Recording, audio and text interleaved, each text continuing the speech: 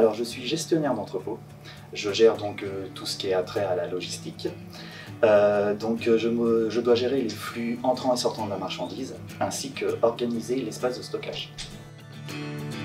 Alors mes principales missions, c'est de manager une équipe d'employés de stock qui va suivre donc le produit euh, de la réception à l'expédition.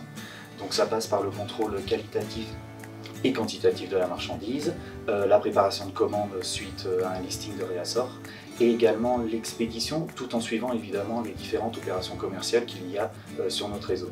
Et également optimiser toujours l'espace de stockage, ce qui, peut paraître abstrait en disant comme ça, mais c'est très important d'avoir une logique dans le déplacement du personnel, d'avoir toujours de la place et qu'on ait un entrepôt toujours bien rangé tout simplement.